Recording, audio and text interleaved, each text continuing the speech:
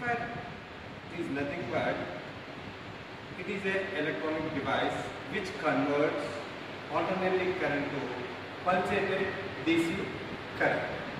Okay. So here its advantages, how it works. Okay, I will explain. So what is the definition for the rectifier? Rectifier is nothing it is an electronic device which converts AC into pulsating DC. Right? Here uh, types of rectifiers. Here we have the two types. One is off wave, another one is full wave. So here I am going to explain about the off wave. It is a off wave rectifier. Off wave, off wave rectifier. So here I am giving that this is a circuit diagram for the off wave rectifier. Okay. So the components for the to concept the off wave rectifier okay transformer. I represented here T we are using one diode and low resistance. After that we will get the output. How? How it works I will explain. Okay so here I am giving the AC input alternating current input to the transformer. It is having a two terminals. One is positive another one is negative. If positive and negative okay here also we are the using one diode right for this also we have the two terminals positive negative and another component is the load rl is nothing but a load resistor after that we will get the output how you get i will explain that okay so here here the output will get in a dc not purely pulsated DC. Okay. So see here I am giving the signal. Here I am taking the two signal, two cycle. Okay. We are giving this input to the transformer. Okay. Transformer. Transformer will transfer to the uh, positive terminal give to the diode. Positive terminal of the diode. Again negative terminal is connected to the RL and it is connected to the ground. Okay. After that, you get the output. How it will operate. Suppose here, why I am telling that it is a half wave. See the output. I am uh, we are getting the only positive side. Okay. So here I am using diode. So here I am taking the for positive cycles only we are getting the output. For positive cycles only we are getting the output. So here in in diode it will uh, it will uh, current will passes like this why because positive terminal of the transformer is connected to the positive terminal of the diode. And negative terminal of the diode is connected to the load resistors. The load resistor is nothing but it is our uh, any appliances. It is very important. Okay? We have to for uh, we are give we have to give the load resistors at the output end. suppose here uh, we are converting this input signal as pulsated output DC current. So rectifier it is a uh, converts AC into DC.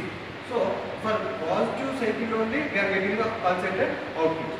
See here diode will diode will rectify only in a positive direction. So it is a unique it is a unique direction you get. It is only forward bias. So here only positive cycles only will get the output. In the off wave, positive half cycles only will get the output in DC. So, so what about the negative negative cycles? Okay, here this diode will accept only in a forward direction. In in reverse bias, uh, in uh, reverse it is if polarities are changes, the current will not flow. Okay, I will represent the current like this. Okay, so the current will flow in a positive terminal means forward bias. Whereas coming to the negative cycles, it will cut off.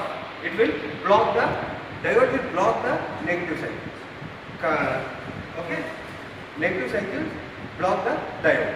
So here there is no current will flow in a reverse direction. There is no the uh, current flow in reverse direction. So for example, here I am taking the one signal. Okay, uh, if it is connection is passed like this, okay, passes like this means we will get the output means current is flowing like this. Whereas coming to uh, negative cycles, it will flow, it will open circuit. It will open circuit means there is no current here. Here current will passes in a forward direction. There is no current in the reverse direction. So in this, so see the outputs of this. In the positive direction only we are getting the outputs. Negative cycles it, it is cut off or it is blocked the diode. Diode is blocked. This is the off wave rectifier output. So in this efficiency is very less. Okay. In this efficiency is very less. So in the terminals of this okay so it becomes for negative off cycles it totally becomes a zero second uh, negative off cycle it becomes so next coming to the for next negative cycles to positive cycles okay it will vice versa reversely it will be connected like this. So in this we will get the only pulsated dc current right? Here and finally we get the outputs. So in this diode is working as a acting like a rectifier. Diode one acting as a rectifier. So in half wave we'll use only one transformer and single diode one diode and load resistance. Okay? This is the half wave rectifier operation. Next i will explain the full wave rectifier. Just small difference is there. Here in full wave rectifier we'll use the two diodes. In full wave rectifier we will use the two diodes. How? I will explain that. Okay just small difference is there. Here just we have to add a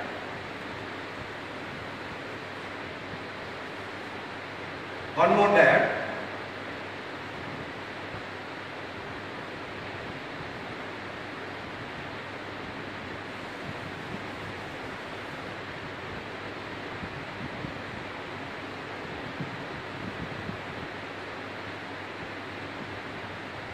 one more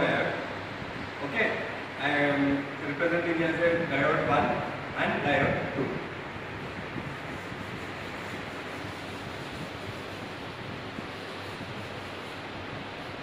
next half wave is finished. Next coming to the full wave. Okay? I am changing that name full wave. Full wave rectifier so what is the difference between half wave and full wave? Whereas coming to the off wave will get the only positive off cycles only outputs will get positive off cycles whereas uh, full, in full wave uh, negative cycles will lost or wastage in that off wave okay so coming to the next full wave rectifier same in why we are using these means in these full wave we will get the two out, positive off cycle as well as the negative off cycle negative off cycles also will get it. How? I will explain that operation. So, whenever we are giving the inputs, sine wave off cycles as well as negative off cycles, positive terminal and negative terminal, it works.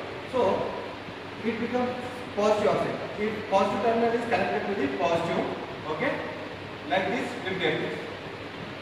Okay, for positive off cycle. Next, Again, for negative off cycles also, we will get that it will polarities will changes. Polarities will changes. Negative is connected to the negative and negative is connected to the negative. So, current will flow like this. Right? Positive and negative also, it is in a forward bias. Both the diodes are in forward bias. Forward bias. So, at the final, we get the two outputs. How? So, for uh, for positive off cycle also we are getting positive terminal and for negative also we are getting the it is connected in a same same forward bias only. Negative is connected to the uh, positive of the cycle. Right? So here we will get the continuously we get this. Continuously we get this. Okay. So here in the wave rectifier there is no wastage of signals. There is no wastage of signals in full wave rectifiers. Whereas uh, off wave will uh, lose the some signal, input signal will lose it. Whereas comparing to the full wave, uh, both the of uh, positive cycle and negative cycle will get the output. Commandingly, here we use the two diodes, two diodes.